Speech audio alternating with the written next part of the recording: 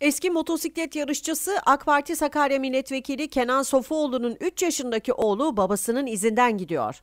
Yaşıtlarının tersine kendisi için tasarlanan go-kart ve motosikletle pistlerde zaman geçiren Zayn Sofuoğlu, kendisinden kat be kat büyük olan 560 cc'lik motosiklete tek başına bindi.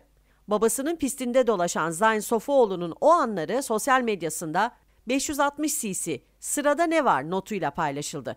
Uzun süredir kendi pistinde eğittiği Zayn'ı ileride Türkiye'yi temsil eden bir Formula 1 yarışçısı olarak yetiştirmeyi hedefleyen baba Kenan Sofuoğlu yapılan paylaşımla olumlu ve olumsuz onlarca yorum aldı. Yorumlara tepkisiz kalmayan Sofuoğlu görüntüleri paylaşarak kimse bizim çocuğumuzu bizden çok sevip düşünüp koruyamaz. Motor nedir? Pist nasıl bir yerdir? Sporcu nasıl yetiştirilir? Bilmeyenler boş konuşmaya devam edebilir. Biz de işimizi yapmaya devam edeceğiz. Tedbir elden, takdir Allah'tan açıklamasında bulundu.